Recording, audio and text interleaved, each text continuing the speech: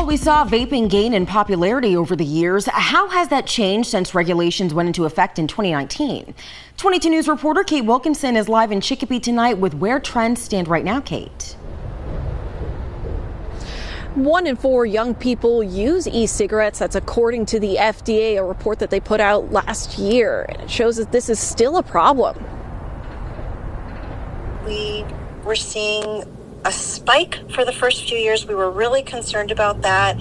And we've certainly seen um, some declines since flavors have been banned. Alana Gurjoy with Greenfield Safe Schools, Safe Streets Coalition said vaping remains a concern when it comes to teens. As local trends show, many are still using e cigarettes. Gurjoy said many start as a way to de stress. However, it actually has the opposite effect. And according to Dr. Matthew Sadof of Baystate Medical Center, vape pens are more dangerous than cigarettes. It's poisonous, and that very often kids get so addicted to these vaping pens that they have to wake up several times a night uh, just to vape. Here at the Monson Fire Department, they've actually had to respond to calls because of vaping.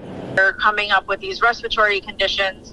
Um, maybe it's just shortness of breath, some chest pain, difficulty breathing. We're more aware of it now, and we know the questions to ask to kind of get to the root of the problem.